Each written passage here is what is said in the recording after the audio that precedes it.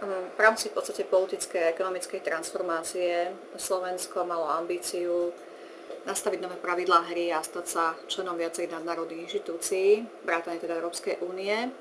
A tým pádom do istej miery preberalo mnohé pravidlá hry, ktoré boli definované týmito inštitúciami a bolo v pozícii v podstate paradigme učiteľ versus žiak.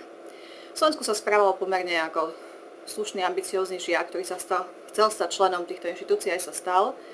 Prebralo mnohé pravidlá, ten externý tlak na reformy v podstate bol veľmi intenzívny, čo sa odrazilo vlastne aj v tom, ako sme tie pravidlá hry na Slovensku prijali.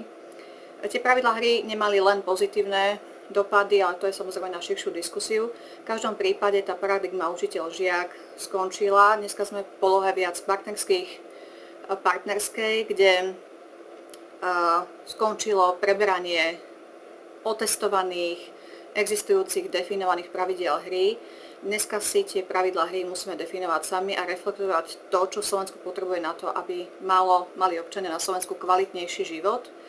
Na to ale potrebuje Slovensko kvalitné inštitúcie, teda skončilo kopírovanie, skončil externý tlak na reformy a dneska tie reformy, zmeny ku kvalitnejšiemu životu musíme generovať sami. Podľa môjho názoru Slovensko má v tejto oblasti vážne nedostatky.